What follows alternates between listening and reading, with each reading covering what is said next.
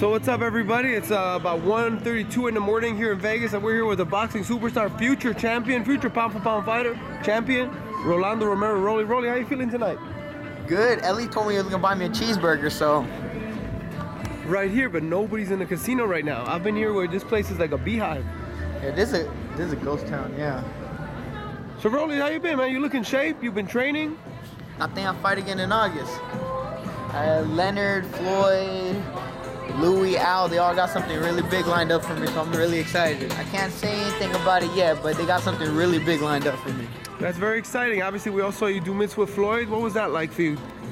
Boom. I mean, it's more like not really the mitts. It's more wh- what he tells you. You know, like he, I mean, it's, he, I mean, he he's the sharpest boxer in the in damn sport. You know, and Yeah. he, I mean, he's been like he's been undefeated for twenty something years. Every fighter I talked to said, "Wow, I wish it was me." Every fighter. I, I wish it. I wish it was me. I still wish it, it was me, and I still wish it was me. But obviously, he posted you on his page, which is huge too.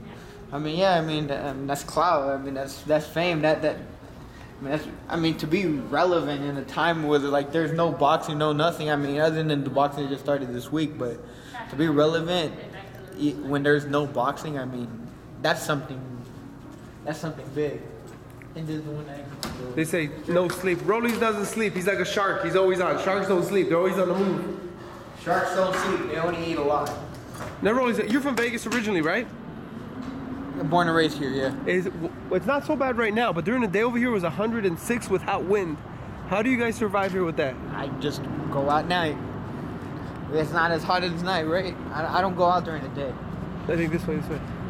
Was there um right now as you can see there's almost no one out, very few people, very few cars. Is that how it's been the whole time?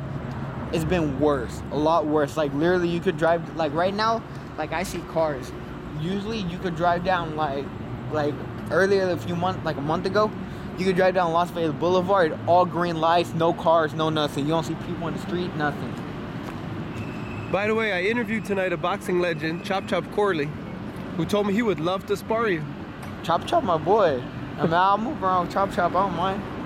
You Chop don't Chop, mind? He's the one that made my last trunks. He did. He did a good job. He did a really good job. I really liked him. Uh, yeah, I like Chop. but I mean, sure. I mean, Chop, Chop been through a lot of wars, a lot of fights. You know, a Chop lot of Chop. He fought Mayweather. He's still Like- active. That's crazy. A lot of people are already Yeah. retired. He fought Cotto. He fought a lot of people. So talk to us about the fights tonight. ESPN. Did you watch them? I didn't watch them, actually. You watch Shakur's fight? Didn't watch that either. What about Shakur against Leo Santa Cruz? Rolling. Leo Santa Cruz, too much What? pressure. You think he beats um? Yeah, no problem. No problem at all. Too much experience, too much pressure, and it's a style that uh.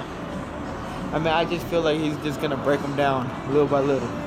We have a question here from England. I think Fury Wilder three. Fury Wilder three. Ugh. That's a lot of. That's a huge weight difference. I. I mean, the thing is, I mean, Wilder didn't react properly after that one punch, but I mean, if Wilder lands one. Yeah.